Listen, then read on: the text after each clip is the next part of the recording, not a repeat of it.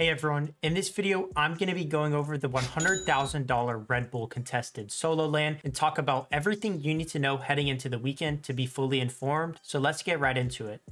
If you guys did not know about the Red Bull contested LAN, it will be a $100,000 solo LAN taking place at the McEwen Hall in Edinburgh, Scotland. I'm going to have a link to the website down below in the description if you guys want to read more about it and see exactly who will all be participating in the tourney. But it's got a super cool venue and stage design. Take a look at it.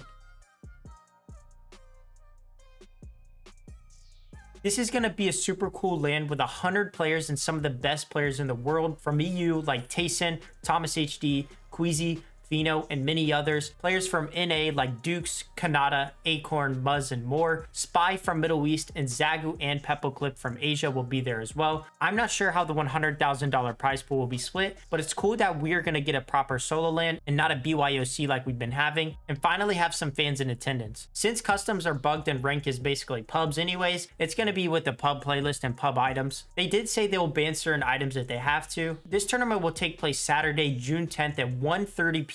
British Summer Time and 8.30 a.m. Eastern Standard Time. It will have eight matches and it is said to last around nine hours potentially, so I hope everyone is ready for a long one. Yes, this does take place next season, so we'll be with a whole new meta for everyone playing. Season 3 starts tomorrow, June 9th, and this tourney will be on the first full day of the season on the 10th. Eight matches is going to be interesting. I hope it stays pretty close and is a fun watch all the way through. It's a bit early for us NA people, but it's not an NA tourney, so it's understandable. I want to show you guys a quick little preview of the map now and also go over some predictions of who I think will perform well. And yes, I know the tourney is next season, so the map will have lots of changes. This just gives you an idea of where people are going to decide to land. I'm missing some people from the map like Vidil, Archie, Edgy, Aqua, and some others, but this is either because they want to land the new POIs that come out tomorrow with Season 3, or just don't want to say where they're landing. Some of you also may be wondering where Bugha and Mero are. They will not be attending, probably a last minute decision to not go, since it also will not be going to this event as well, and he was previously going to be going. As always, I will have this map in my Discord in the description. So if you guys want to see it updated tomorrow with all the new drops, make sure to check out my Discord. Moving on to some predictions on players who I think will do really well and are threats to win. Starting off with Veno. He's getting Uncon and is already one of the best solo players there is, and one of the best players there is just in general.